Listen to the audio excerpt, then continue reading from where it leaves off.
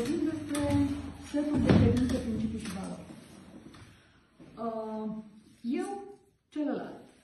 Fiecare cu rela- relația dintre noi, fiecare cu jumătatea noastră.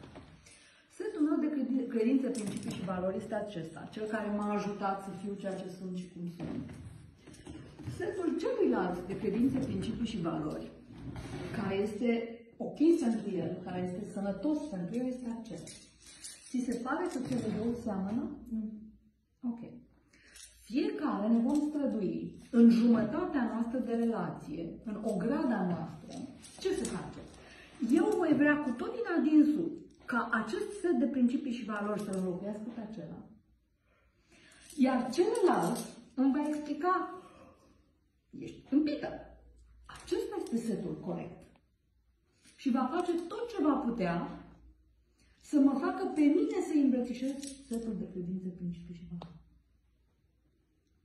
Deci aici este o bătălie care nu are niciun câștigător, de fapt, și nu are niciun pierzător. Pentru că fiecare în jumătatea lui de relație și în ograda lui are dreptate.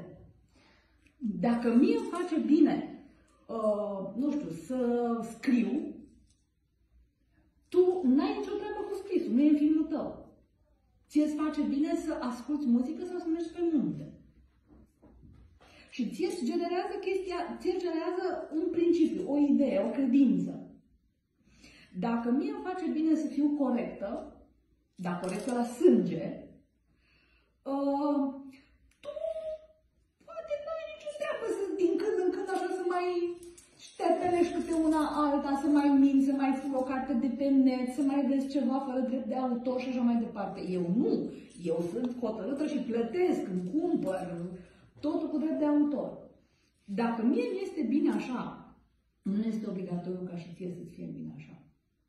Dar ca părinte, nu este treaba noastră să insuflăm un set de principii valori care sunt perene și plătesc pe o structură sănătoasă viața unui om? Cu atât mai mult cu cât aici nu există discernământul necesar. Asta este părerea ta. Că nu există discernământ. Da. Bun. În momentul în care eu, ca părinte, vin și spun copilului meu, care văd că face o chestie împotriva unui principiu de-al meu. Uh, atitudinea mea de părinte, co- uh, atitudinea corectă este următoarea. Uh, dacă faci nu știu ce, consecința este aceea. Dacă faci altfel, consecința este alta. Dacă faci altfel, consecința este alta. Tu alegi ce să faci, este alegerea ta și ești responsabil de consecința alegerii tale. Aceasta este varianta sănătoasă și corectă și pentru mine și pentru copilul meu. Pentru că dacă eu vin grămadă și impun copilului meu, tu trebuie să faci așa. De ce? Da, așa zic eu, că mai mare și mai deșteaptă. Copilul se va uita la mine și va zice, hm, și ce da? Mă doare la basket cu tine. Deci despre asta este vorba. Eu fac tot ce pot să-i transmit părerea mea, experiența mea de viață copilului meu ce am trăit eu. Da, dar el a venit cu o altă încărcătură, cu o altă istorie a lui ca ființă, ca suflet. Și atunci el are nevoie de alte lecții. Și dau un exemplu. Eu am venit să învăț lecția abandonului. Copilul meu a venit să învețe lecția trădării. Sunt lecții diferite. Așa că noi mergem la clase diferite, la școli diferite ca să învățăm. Pentru că dacă tu vrei să înveți chineză, nu te duci la clasa de geografie. Și atunci, setul meu de credințe, principii și valori și experiențele mele de viață îmi sunt de folos mie. Eu pot să le pun sănătos și corect în comun cu copilul meu, dar doar să le pun în comun și să-i le explic, nu să-l oblig și să îi impun să aibă același set de credințe, principii și valori.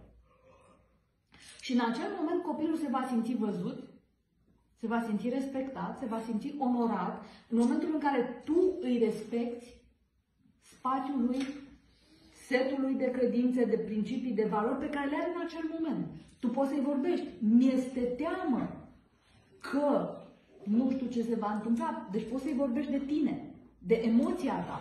Îmi este teamă că dacă vei mânca foarte mult, te vei îmbolnăvi de ceva. Dar mi-e teamă că dacă mănânci multe dulciuri, te vei îmbolnăvi de diabet. Dar nu-l pui la zi, îi vorbești de tine, de teama ta. Și atunci tu te poziționezi corect aici. În momentul în care tu, ca părinte, spui, mănânci mult, te duci jos, te îmbolnăvești de diabet, tu știi ce faci? Te duci, sal gardul și judeci, vorbești în numele lui. Și acest copil nu se simte văzut. Copil, persoană, aici vorbim de relații în general. Și fiecare om, fiecare dintre noi are această nevoie fundamentală de a fi văzut, de a fi onorat și de a fi respectat așa cum este el. Ori eu, dacă nu-mi dau voie să învăț copilul așa cum este el, dacă nu-i dau voie să existe și să ființeze așa cum este el, copilul evident că se simte nevăzut, oricâtă o iubire zic eu că aș avea pentru el și mă comport într-un anumit fel. Are sens ce spun?